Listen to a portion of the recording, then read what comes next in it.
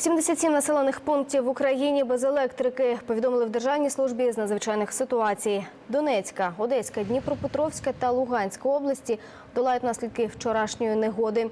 Найбільше роботи зараз на Харківщині. В області майже усю минулу добу не припинявся снігопад.